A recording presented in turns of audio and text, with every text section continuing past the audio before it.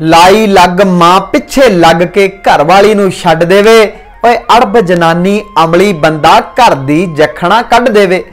ਆਪਣੇ ਆਪ ਵੀ ਸਿੱਖਣ ਦੇ ਕੁਝ ਬਹੁਤੇ ਹੇਜ ਦੇ ਪੱਟੇ ਨੂੰ ਮਾੜਾ ਢਾਕ ਤੇ ਚਾੜੀ ਰੱਖਣਾ ਹਰਦਮ ਬੋਡਲ ਕੱਟੇ ਨੂੰ। ਬਹੁਤੀ ਲੰਮੀ ਲਾਈਫ ਨਾ ਹੁੰਦੀ, ਵਾਂਗਾਂ ਵਾਲੇ ਕੁੱਕੜ ਦੀ, ਘਟਦੀ ਘਟਦੀ ਘਟ ਜਾਂਦੀ ਏ ਪੁੱਛ ਪ੍ਰਤੀਤ ਵੀ ਫੁੱਫੜ ਦੀ। ਵਿਆਹ ਸ਼ਾਦੀ ਵਿੱਚ ਪੱਕੇ ਹੁੰਦੇ ਕੰਬਲ ਨੈਣ ਤੇ ਨਾਈ ਦੇ। ਓਏ ਧਰਤੀ ਬੇਸ਼ੱਕ ਪਲਟ ਜਾਵੇ ਨਾ ਪਲਟਣ ਬੋਲ ਜਵਾਈ ਦੇ। ਗੁੱਜੀ ਨਾ ਗੁਰਦਾਸ ਰਹੇ ਗੱਲ ਨਕਲੀ ਬਣੇ ਨਵਾਬਾਂ ਦੀ। ਮੂੰਗੀ ਧਰ ਕੇ ਕੂਕਰ ਵਿੱਚ ਤੇ ਫੀਲਿੰਗ ਲੈਣ ਕਬਾਬਾਂ ਦੀ। ਖੁਦ ਟਿਕਦਾ ਨਾ ਟਿਕਣ ਉਹ ਦੇਵੇ ਕੌੜ ਸੁਭਾ ਦੇ ਗੰਦੇ ਨਾ। ਓਏ ਜ਼ਿੰਦਗੀ ਕੱਟਣੀ ਔਖੀ ਸੰਧੂਆ, ਅੱਚ ਵੀ ਖੋਰੇ ਬੰਦੇ ਨਾ, ਅੱਚ ਵੀ ਖੋਰੇ ਬੰਦੇ ਨਾ।